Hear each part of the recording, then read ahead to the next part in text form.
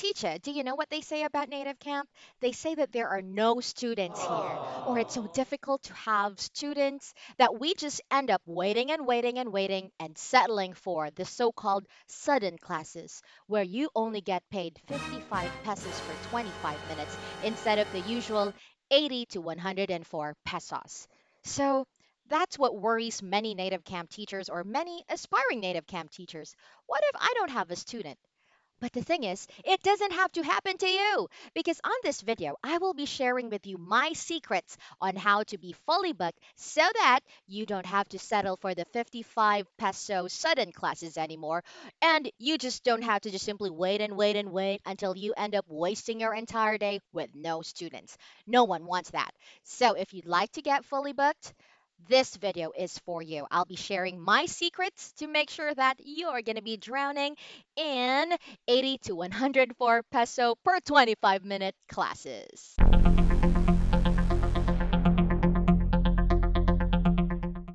And to those of you who'd like to be a part of this company, don't forget to add my email address, askteachakaren at gmail.com, as the referrer, and send me an email so that I can send you proven tips and tricks on how you can pass and be a native camp teacher in just two days. Don't forget to send me an email. And to be clear, teacher, the reason why I say 80 to 104 peso class is because it depends on your rank.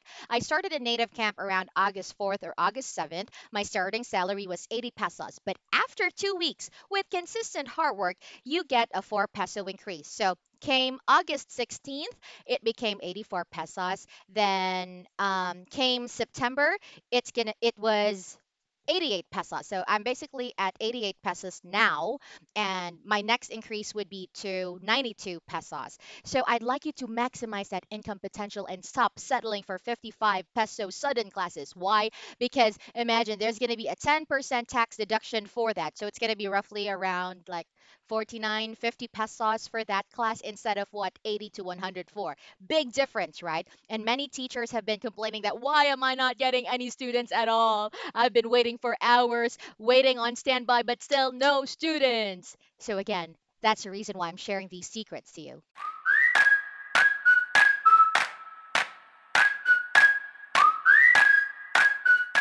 Now, secret number one is you must aim to get a feature tag. What's a feature tag? A feature tag is something given to new teachers if your self introduction, especially your self introduction video and profile photos, are awesome. If they stand out, you will be given a feature tag. And what does that mean? Native Camp will be promoting you for free. Your students, all students, will be able to book your class for free. And who doesn't want a free class? So it means your students would see your name, even though you don't have students yet, like zero students, they'd see that, hey, Karen is teaching for free. So if I book her class, I will not pay a single yen or a single uh, new Taiwan dollar. I'm not going to be paying anything, so they'd be encouraged to book you. That was my secret to being fully booked for the first two weeks of my life in Native Camp. That feature tag, that feature tag promoting me to Native Camp students for free, and that feature tag letting the world know that I'm here and that my classes are available for free. Now, I created a video on how to create an effective self introduction video. I hope you're going to be checking it out because it covers your written self introduction, your profile photos, and the video self introduction. You guys know, teaches that I'm very big on self introductions because that is something that could really sell you and use that to your advantage. When you are getting started here in Native Camp, it's important that you really invest time and effort to make an awesome self introduction that really shows your brand. Who are you as a teacher? What's your teaching style? And what benefit will students get from you? All those things you should cover on your self introduction. Tip number two.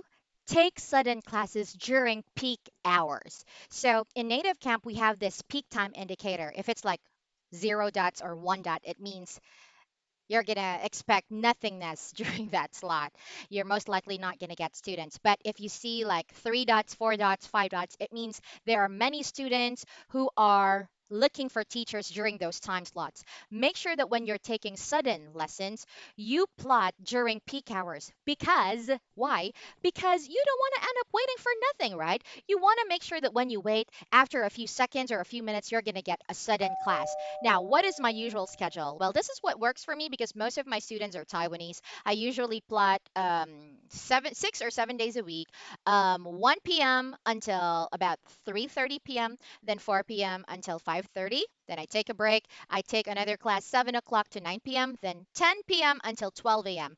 Those are the hours that work works uh, work for me. So um, with this, it's important that whenever you're plotting for sudden classes, you plot them for uh, during the peak hours. And I said no to sudden classes. But the thing is, if you do not have a feature tag, you're, you're not basically, you know, offering your classes for free, then the only way that you could get more regular students is for you to take sudden classes and convert those sudden classes into regular students. That's the key there. So, once again, make sure you always refer to the peak time indicator available on the Native Camp portal. Tip number three you must have the mindset that a sudden class is a trial class. So, what do I mean by that? Previously in Acadsoc, I used to be a trial class teacher. What do we mean by that? This is a teacher who basically gives a student a glimpse of how it's like to sign up for the company and learn from teachers there. So, a trial class teacher um, gives the student, you know, the best of the best experience possible. We entertain them, we sing songs, we make sure that they have a great time, and we just don't simply do our job and teach. We make sure that the student falls in love with us. And that's what I mean by a trial class you have to treat a sudden class as if it's a trial class and that your goal is to make the student fall in love with you so that from a sudden class they will become regular students. They would want more of teacher karen. They would want more of you because they had a great experience in your class. So whenever you treat your sudden class as a trial class you have to go the extra mile. You have to entertain them um, make sure they have a great time smile and use props. I have tons of uh, dolls here. I have special rewards for my students, just like cupcakes. I also have rewards like stars. I even um, greet my students with an emoji. So I give them, like, you know, a wonderful experience on my class. Of course, if it's an adult, I won't be using these props, but I would make the adult feel that I'm a friend who's trying to help you achieve your goal. I'd start my class um, knowing what the, the the student's learning goal is. If they want to pass IELTS, TOEFL, they want to get promoted at work, so that everything that I do for them revolves on helping them attain or achieve their goal. Tip number four don't be basic. You gotta stand out, teacher. Uh, when I say basic, well, basic would be everything that you've learned from the learning kit, you know, the SOP of Native Camp that, you know, they have, the student has to repeat twice for the review session, they have to repeat three times, and basically just follow the script and all. So don't be basic. That's already like the basic expectation from us, right? You have to stand out you have to um, make yourself memorable, um, Um, either by being sincere, being friendly, establishing rapport, making the student feel special. And this is something I learned from Acadsoc. You have to share a highlight. You know, what what can you do that other teachers can't? Um, if your student is a child, you can like play the guitar, you could do magic tricks, um, you could uh, dance, sing songs, do silly faces. So you have to continue surprising your students because you don't want to be basic. You want to stand out so that you're memorable. And do you want to know why you have to be memorable? Because in Native Camp, many students have a group chat it's a group chat where students get to help each other. They share awesome experiences with teachers and they recommend teachers on the chat on, on their group chat. So that's actually one of the reasons why I got fully booked. Um, this Taiwanese student of mine shared my profile to to their group chat for Taiwan. And then afterwards, after a few days, I got fully booked. And most of my students were Taiwanese, and it was because of that group chat. And that's the reason why it's important that you stand out because one happy student would share to the world how awesome their experience is with you. But of course, when they're unhappy with you, um, expect that they're also going to be ruining your name on the on their on their group chat. So you have to be careful as well. Tip number five, get more badges. So when you're starting off in Native Camp, you only have about five badges because these are the assessments that you've completed for the Learning Kit, uh, daily news, grammar, and so on. So you have to take um, other courses from the Learning Kit. There's about 26 in total. You have to watch the videos, take the assessment, and request for a badge. I'll be creating a separate video on how to request for badges, but there are also instructions on how to request for badges available from the Inquiry tab.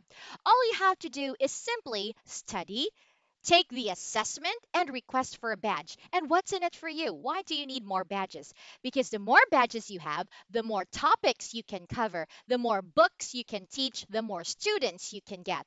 That's how important it is. That's why for me, I started requesting for badges even before my account got activated. Because as a new native camp teacher, your account will be deactivated not until your self introduction gets um, approved by the admin. So while waiting for that, you could like multitask and take the self-study courses from the learning kit, pass the assessment and request for badges. And trust me, you're going to be, uh, you know, experiencing um, a big difference in terms of the number of bookings that you're going to be receiving.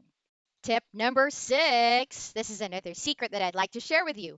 Never cancel booked classes. Why? Because students would see if you are the type of teacher who cancels booked classes, and that's a big no no students wouldn't want to book teachers who cancel book classes. They want a teacher they could rely on and teacher teachers whom they could trust. So once a student books your class, under no circumstances should you cancel the classes, not unless, of course, it's an emergency, just like what happened to me. That's why I have like a 2% cancellation rate back in August because my husband almost had dengue. So I had to cancel my slots. But never again have I done that because it affects my booking rate. So once again, rule of thumb, Another secret is never ever cancel book classes. You can cancel classes that are still available wherein no one has booked those classes yet. It's okay, it won't affect your booking. But if a student already booked the class, never cancel it, not unless it's an emergency. And finally, in relation to not being basic, Tip number seven is exceed expectations. Of course, every student expect you to teach them the material and to simply follow the script. That's already what they experience from other teachers. But when I say exceed expectations, encourage your students to speak because you have to give them an experience that is different from what they already experience when they're studying YouTube videos or online videos. Your students are booking your classes because they want to talk. Give them opportunities to speak, increase your students' output, and more importantly, it's also important that you bank on knowledge extension. And knowledge extension is all about sharing other pieces of information, vocabulary, sentence patterns that are related to what you are teaching. By doing knowledge extension, your student would feel that, hey, they are getting, you know, what they're paying for and more. And when you make people feel that they're getting more than what they're paying for, they would love you, they would fall in love with you, and they would want to have more classes with you. Let's say I'm teaching a student about fruits. I'd also teach the student about vegetables as a knowledge extension. That's a, a way for us to maximize what they could learn from your class. So, there you have it, teachers. My seven secrets on how you could be fully booked here in Native Camp. Gone are the days when you would have to worry because, you know, you're stuck with sudden classes or you're not getting any book classes at all. Trust me, if you do these seven secrets, these seven tips, you will be fully booked. If I can do it, I'm just on my sixth or seventh week, you can also do it. And that's the reason why I'm making this video. So, if you like this video, please give it a thumbs up, subscribe to my channel, Teacha Karen, and comment below below if you have any questions or comments. And of course, if you'd like to be a part of this company, again, don't forget to add my email address, askteachakaren at gmail.com as the referrers. Be a blessing to the people around you. Bye bye.